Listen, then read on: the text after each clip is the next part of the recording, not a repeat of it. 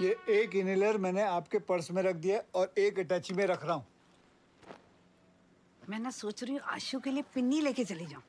आशु मेरे बच्चे को कितनी पसंद है पिन्नी। और वहाँ पे वो मोटी जर्सी भी तो बैठी है खाने को। एक तो है ना आप तमीज से बात किया करो घर की औरतों के लिए।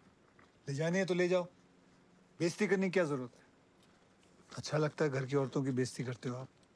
ठीक है तो मैं पिन्नी लेके जा रही हूँ आशु के लिए। तेरे पास तो यहाँ पे है ना वो गिन्नी? तो मैंने घर की औरतों को रिस्पेक्ट से भी बोला। मेरे लिए अगर पिनिया बनानी है तो दिवाली में आके बना लेना मैं वेट कर लूँगा।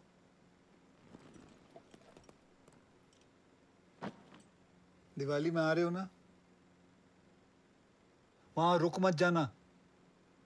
ना बाबा आशु के घर की बात ही कुछ और है। यहाँ पे साला ये मरा सड़ा हुआ कूलर और वहाँ पे एसी है एसी पर मैं पानी भराता हूँ ना रोज। और सीज़न के सीज़न पैड भी तो चेंज करता रहता हूँ खस वाले रजौरी गार्डन से लेके। ना एसी की बात ही कुछ और होती है। समझ में नहीं आ रहा तेरे को? आशु कितना प्यार करता है मुझे। हर चीज़ का ध्यान रखता है। गुटका साहब रख दिए? हाँ रख दिए। अलार्म लगा दिया है। लगा दिए है। और वो पासपोर्ट और टिकटें रख दी है ना?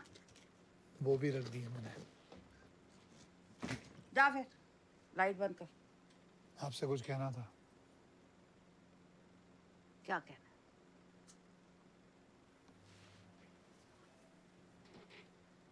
वो बीवी ने एक लिस्ट दी है शॉपिंग के लिए। वो ले जाना और जरा चीज़ें लिया तू बेटे मुँह तेरा दबाओ इधर। लिस्ट दी है। बंद कर कर लाइट।